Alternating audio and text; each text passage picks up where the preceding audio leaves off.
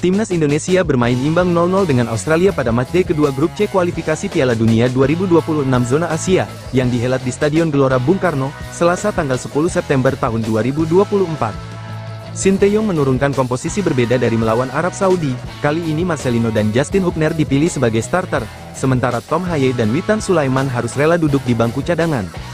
Mengambil inisiatif menyerang, Indonesia punya dua tembakan on target ketika laga baru berjalan satu menit, pertama dari tembakan Sandy Walsh yang ditepis kiper Matrian, Struik menyambar bola liar dan juga melepas tembakan ke gawang dari sisi kanan tapi kembali ditepis Rian.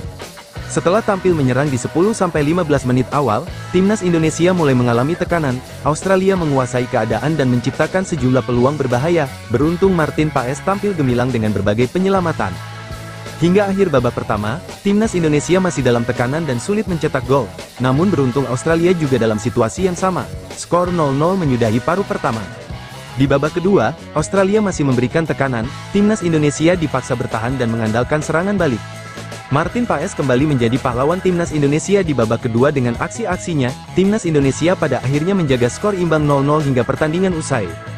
Dalam laga tersebut Martin Paes jadi sorotan netizen, dengan aksi gemilangnya, tak hanya Martin Paes, Marcelino Ferdinand pun tak luput dari sorotan. Berbeda dengan Paes, Marcelino menjadi sorotan karena penampilannya dianggap kurang maksimal.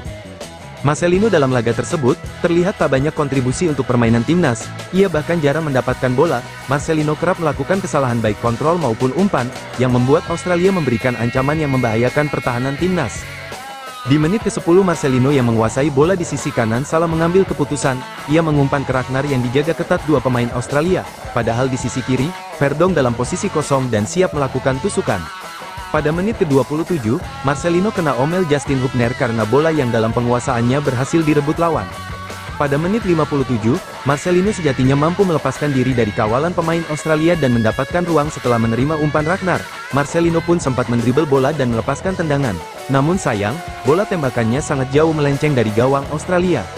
STY akhirnya memanggil Marcelino ke pinggir lapangan di menit ke-63, di depan bench pemain Indonesia, STY marah-marah menggunakan bahasa Korea Selatan yang diterjemahkan Jong Sok Soo.